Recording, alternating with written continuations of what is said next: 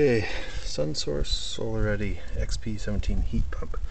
Got a lot of videos about them out there. And today what we're going to do is look at the inside with the cover off. What we see here, we have, of course, the main part coming into the relays that will close the contactor to start the compressor of the unit.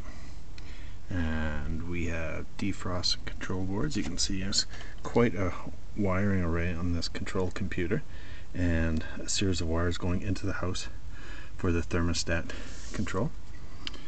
And we have capacitors that start help start the compressor and the fan blade and variable speed controllers. So we have variable speed fans on the iComfort system. And the iComfort is not available on every XP unit, but eye iComfort's really the way to go. And here's the secondary computer control which helps uh, control defrost and such. You can see the series of lights on here that run diagnostics for us. So it's quite a uh, self-diagnosing board on what's happening, should be happening, recording error codes and such.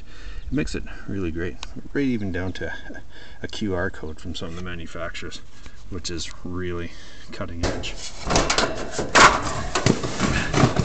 Then we take the bottom control panel off.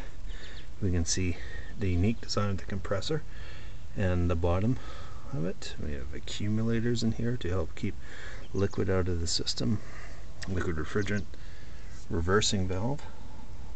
So that changes depending if we're heating, cooling, or defrosting the outdoor unit. Of course we have built-in filter drawers that uh, help keep the refrigerant clean, extend the life of the unit for a good 20-25 years. Pressure and safety switches to help regulate um, internal pressures. And the bulb for the TXV valve, which you can see the bulb strap there, the line coming up to TXV, a thermostatic expansion valve. So really fine tune and control the amount of refrigerant flow through the system to uh, maximize efficiency.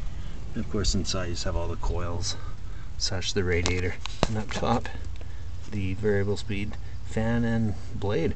Quite a unique blade design makes the system really quiet. Again, that's XP17.